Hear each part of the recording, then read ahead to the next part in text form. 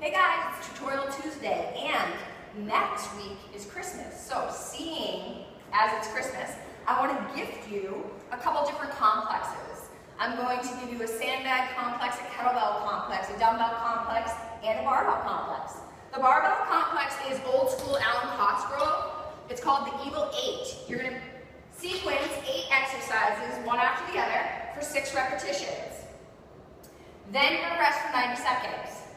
You're going to repeat all eight exercises for five repetitions. Rest for 90 seconds. Four, rest, three, rest, two, and finally one. Okay?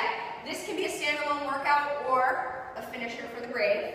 Um, I'm going to go through and just show you what each exercise looks like, uh, just for three repetitions. We have a deadlift, a Romanian deadlift, a bent over row, a power clean, a front squat, a push press, a back squat, and a good morning, okay? There are limiting exercises. So I can deadlift way more than I can bent over row, and I can front squat way more than I can good morning. So the row and the good morning are gonna be the decider on what weight I'm gonna choose, okay? You wanna make sure you can actually get through all this volume okay? Um, complexes are great because they're going to burn fat, you're going to get some cardio in, and you're going to maintain that muscle because we are strength training, okay? You're going to come into a deadlift position. We're going to perform three conventional style deadlifts.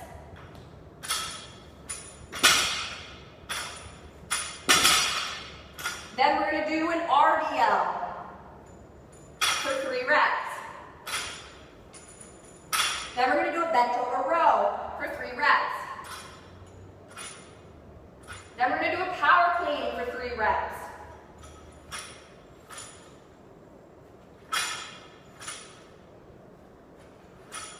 Then we're going to do a front squat for three reps.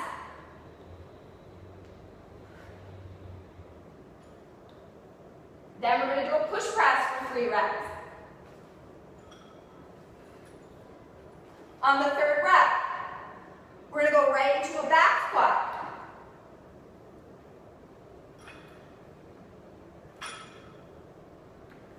And right into a good morning.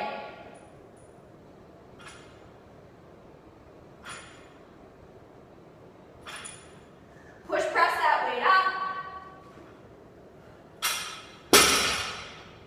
Rest for 90 seconds. And repeat. As you can see, I only did three repetitions at 65 pounds.